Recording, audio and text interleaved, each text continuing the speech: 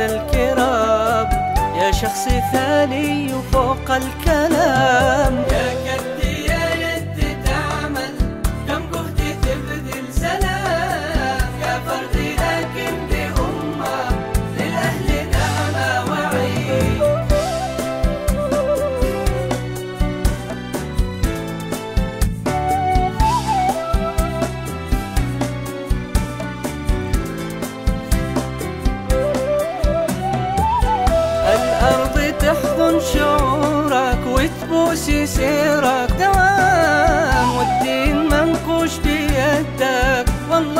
يحبك أكيد. برغم الأليم ضميرك أمين. تعيش الحياة بعرق الجبين تدور أمان. يطيب الزمان ربك يعيد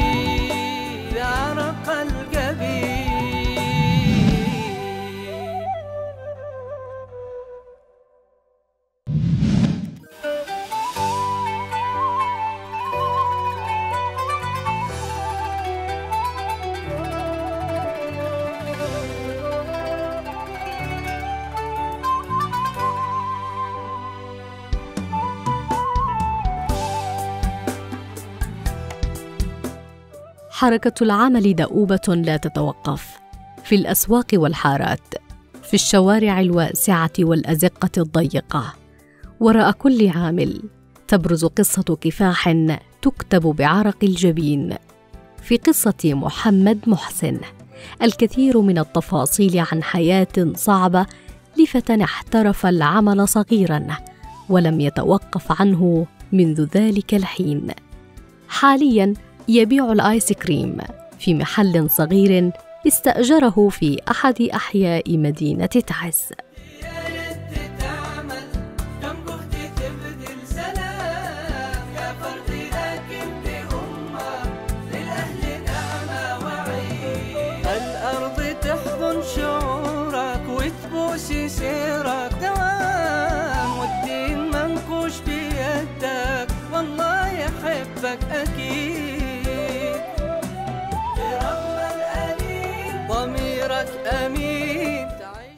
أحلى شعور. يعني أرتاح صح إنه واحد يتعب عمله وكل شيء لكن لما يأكل لقمه الحلال حاجة ثانية تنسي كل شيء فيه كانت بداية محمد في العمل في الآيس كريم مقترحا من صديق مقرب دعاه للعمل معه ولم يتردد محمد في قبول الدعوة. أجا حازم قال لي إيش رأيك تجي تشتغل معي؟ قلت له تمام باقي أشتغل معك. اشتغلت كنت أشتغل معه اقرط السكريم وارص بالثلاجات. اجا فتره أوزع بدل أخوه أخوه تعور برجله. كنت أوزع سكريم المحلات داخل تعز. محمد محسن في مجال العمل.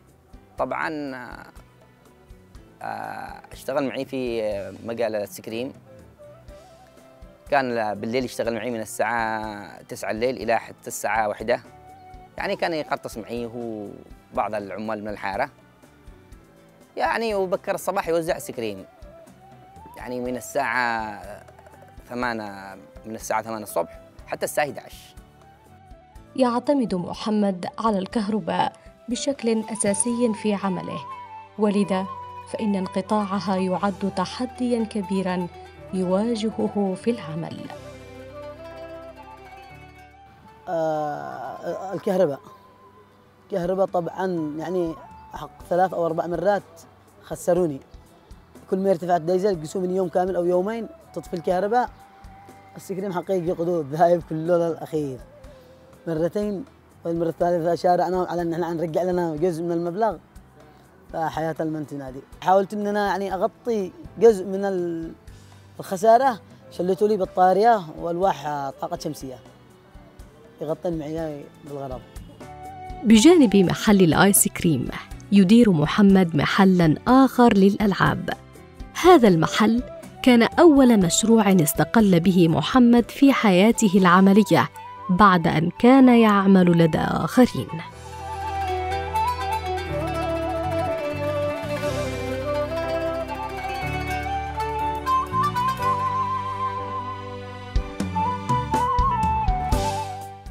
اشتغلت بالطرقات بالمساعة من الطرق القصر كمراسل واشتغلت بالمصنع. كنا نلفلف الدباب البلاستيك هذه الصنادل ال- يعني عزك الله حاجة شمات كانت. بس قد الشغل مضطرين العمل. بعدين اشتغلت بعد ما دخلت خرجتوا لي بالتقسيط من شركة ناتكو حق بتايل. تلفزيونات وأتاريات وفتحته بديت بالمجال الأتاري ولا اسمه.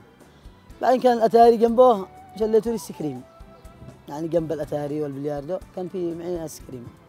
الرجل المكافح هو الذي بينجح سواء هنا سواء بالدنيا سواء بالآخرة. الرجل المكافح في جميع المجالات. الذي يريد ينجح يكافح. لا ييأس. يشتغل أي شغل الشغل مش عيب. ما فيش أحسن من العمل. الواحد يشتغل أي أي أي عمل. أهم شيء شغل حلال. لذلك الواحد يشتغل. اشتغل بالآيس كريم. ما فيش ما فيش عيب في مجال الآيس كريم. ما فيش عيب في أي مجال. أهم شيء إنك تشتغل. كيف تاكل لقمتك الحلال؟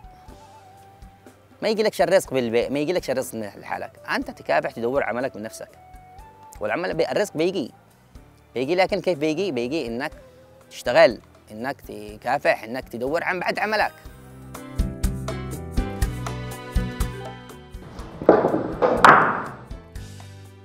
قد لا يملك محمد الكثير من الوقت لكنه يملك الكثير من الطاقة. ربما لا يستهويه اللعب كثيرا هنا في مكان عمله لأنه يمارس اللعب في مكان أكثر اتساعا وهو ملعب كرة القدم. الرياضة يعني آه، بيتي الثاني تعتبرني يعني الأهل البيت العمل ثم الرياضة. أنا أقول إنه ال- الرياضة منفس. نحن ضيق العمل و... وضغط وضغط الوضع. اللي أحيانا نحن ربما نخرج حتى للرياضة لأنه منفس يخرج كل ما عندك من طاقة سلبية ومن ضغط العمل. التحق محمد بالنادي الأهلي في طفولته لاعبا في فئة البراعم. أما اليوم فأصبح مدربا لفئة البراعم داخل النادي الأهلي.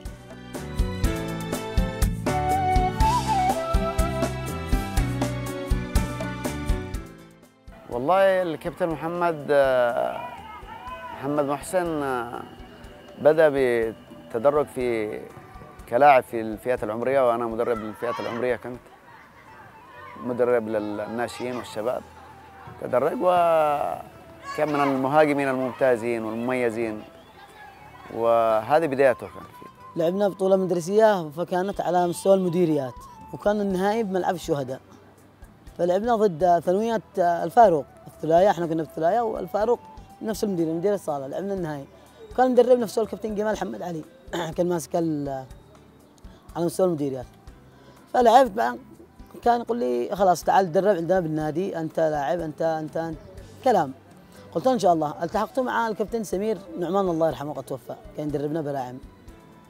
بعدين جاء فترة لعبنا مع الكابتن نبيل الأنسي ب 2002 2003 طلعوني ناشئين كنت سريع بالكو... سريع و...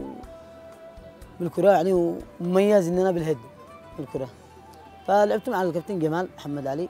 محمد كان مهاجم ممتاز سريع وكان كان مميز عن مجموعة من اللاعبين.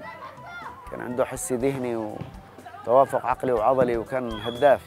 خلال مسيرته الكروية لعب محمد أيضا في أندية أخرى كالرشيد ووحدة التربة لكنه بقي وفيا للنادي الأهلي في العام 2011 دخل محمد مرحلة جديدة في النادي الأهلي أصبح مدربا.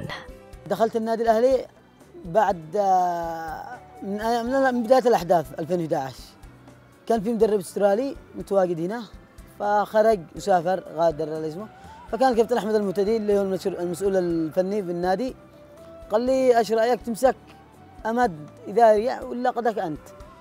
قلت له تمام بمسك أنا بدل الأسترالي مسكت بالنادي الأهلي وبديت من 2011 حتى الآن 2022 ومدرب ومدرب ناجح يعني حصد في مجال تدريبه خلال فترة فترة الحرب وما قبل يعني على مستوى الأندية وعلى مستوى المحافظة وعلى مستوى حتى أحتكر يعني كثير من ال- البطولات على مستوى الحواري والكل.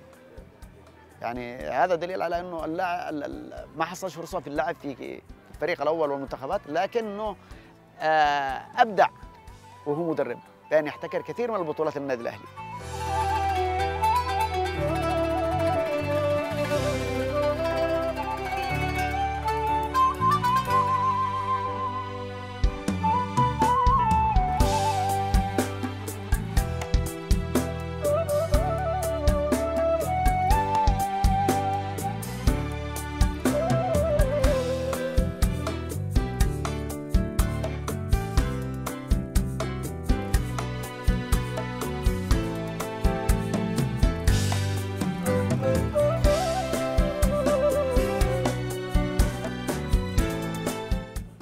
الكابتن محمد آه، ما شاء الله عليه مجتهد يعطي كل شيء حقه بالرياضة أعطاه حقه وبالعمل أعطاه حقه. موفق بين ال- الرياضة والعمل. لم يصل محمد إلى ما هو عليه الآن إلا بعد كفاح مرير وأحداث صهرت شخصيته المفعمة بالأمل. حينما كان صغيرا التحق محمد بسوق العمل في سن مبكرة بعد إصابة والده بشلل نصفي.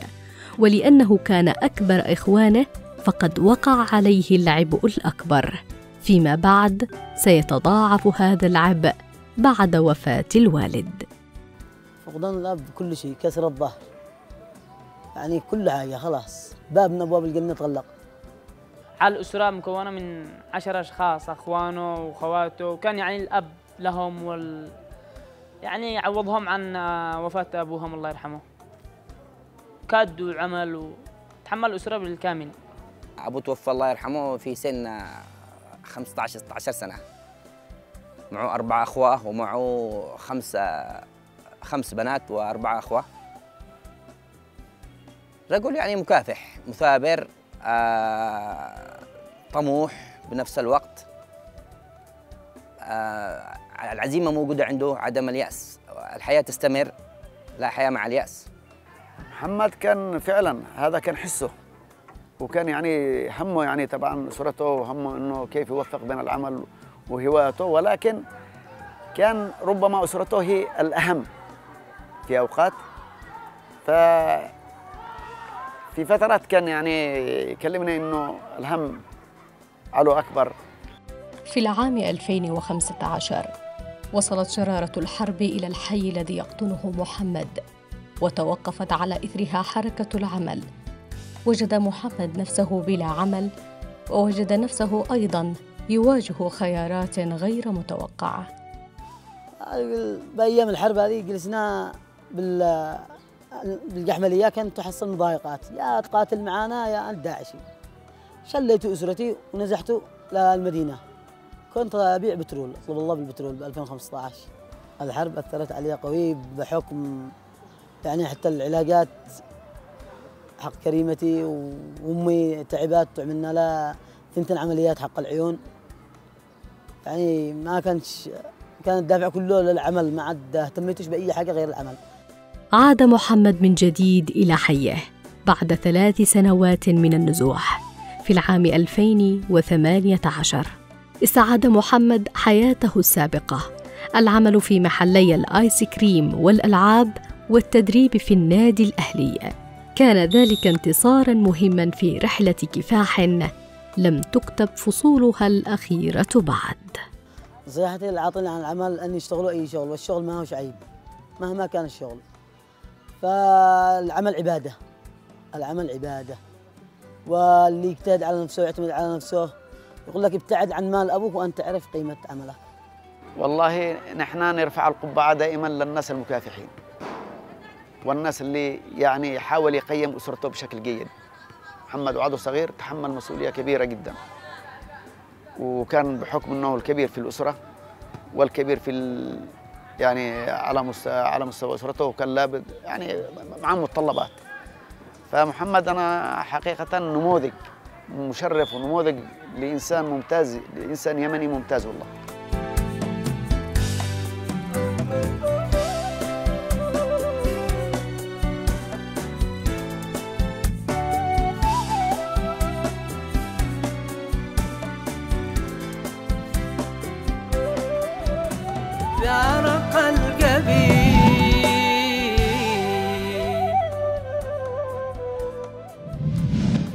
كرة القدم. نسمع كثيرا عن الوقت الضائع وعن الوقت بدل الضائع.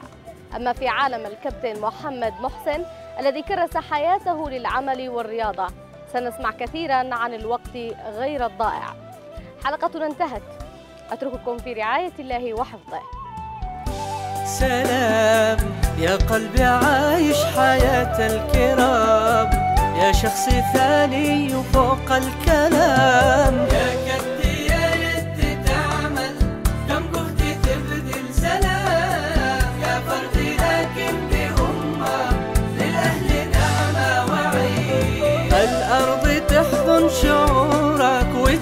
وتبوس سيرك